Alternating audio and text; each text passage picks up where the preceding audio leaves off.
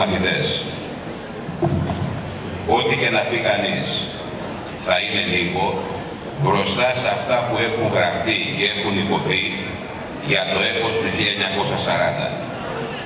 Για αυτήν την εθνική εποπία, για αυτόν τον θρίαμβο της ελληνικής ψυχής, για αυτή τη χρυσή σελίδα δόξας που γράφτηκε στη σύγχρονη ελληνική ιστορία.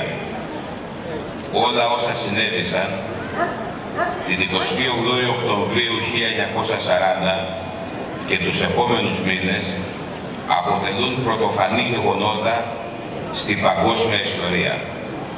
Ο Πρωθυπουργός μιας μικρής χώρας, ο Ιωάννης Μεταξάς, αντέταξε ισχυρό όχι στον πρεσβευτή μιας πλούσιας χώρας της Ιταλίας που είχε πανίσχυρη πολεμική μηχανή. Η αξιοπρέπεια αντιπαρατέθηκε με το θράσος και την αλαζονία και ό του θαύματος η αξιοπρέπεια των Ελλήνων βγήκε νικήτρια. Η μικρή Ελλάδα, ο σύγχρονος Δαβίδ, κατατρόπωσε το πολεμοχαρή Γολιά στα χιονισμένα βουνά της Αλβανίας και στα οχυρά του Ρούπεν. Ο Πρωθυπουργός της Κοσμοκράτηρας Μεγάλης Βρετανίας αναφώνησε το περίφημο «Οι ήρωες πολεμούν σαν Έλληνες». Ο πολιτισμένος κόσμος πήρε το μήνυμα της αντίστασης στον ολοκληρωτισμό και στον φασισμό, αλλά πήρε και την πίστοση χρόνου που χρειαζόταν για να οργανώσει την αντεπίθεσή του. Φίλες και φίλοι, η σημασία αυτής της εθνικής επαιτίου είναι όπως είπε και ο αείμνηστος στρατηγός Ευστάθιος Λιώσης που βρέθηκε στην πρώτη γραμμή όταν το έθνος ομονοεί τύχη δε καλής διοικήσεως τότε θριαμβεύει. Η εθνική ομοψυχία είναι το διαχρονικό μήνυμα που πρέπει να κρατήσουμε στο μυαλό μας σαν παρακαταθήκη.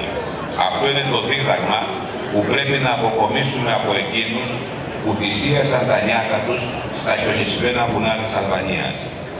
Έχουμε λοιπόν ιερό χρέος να συνειδητοποιήσουμε το στίχο του εθνικού μας ποιητή Διονυσίου Σοδομού ότι αν μισούμαστε ανάμεσά μας δεν μας πρέπει ελευθεριά αλλά και ότι δεν πρέπει να περιμένουμε βοήθεια από κανέναν αλλά να βασιζόμαστε στις δικές μας δυνάμεις.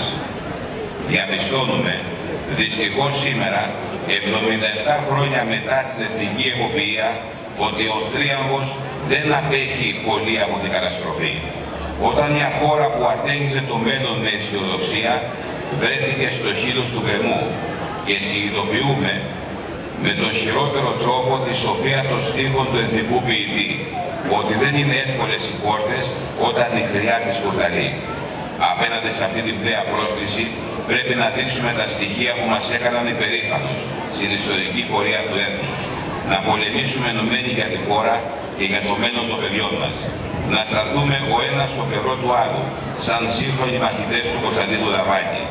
Με αυτά τα στοιχεία θα βγούμε νικητές και θα αναδείξουμε τα φυσικά πλεονεκτήματα της πατρίδος μας και τα ψυχικά χαρίσματα του λαού μας.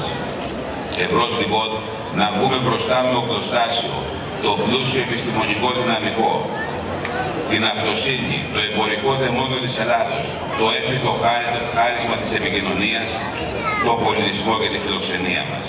Παράλληλα, να στηρίξουμε όλες και όλους που επλήγησαν την οικονομική κρίση, να τους βοηθήσουμε ώστε όλοι μαζί να συμβάλλουμε στην ανταξιακή προσπάθεια.